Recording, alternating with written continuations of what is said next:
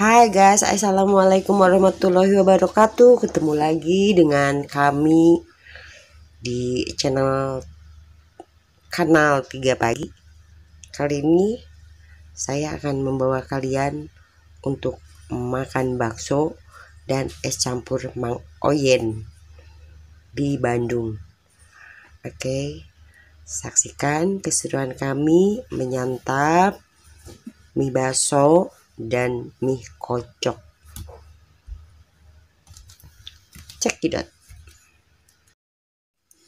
guys kalian ada yang tahu perbedaan dari mie bakso dan mie kocok?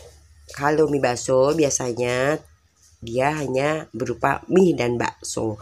Tapi kalau mie kocok dia ditambahi dengan kikil. Oke? Okay? nah di sini pun saya sudah pesan es campur Mang Oyen ya. Ini enak banget. Uh, pokoknya kalau untuk di kota Bandung mie apa? Es campur ini sudah cukup terkenal ya dari zaman Breto dari zaman dahulu. Saat saya masih remaja selalu makan di tempatnya Mang Oyen. Oke kita akan makan nah ini kalau hari ini saya pesannya mie yamin ya. Jadi kuahnya terpisah dengan sayuran dengan bakso dan segala macamnya. Mie kayak mie goreng seperti itu. Cuman bedanya ini bak mie mie basah ya. Oke kita cicip dulu ya. Enak atau enggaknya? Yang jelas enak sih karena saya memang langganan ya setiap ke daerah sini pasti saya mampir dan makan mie bakso ini. Oke kita makan dulu.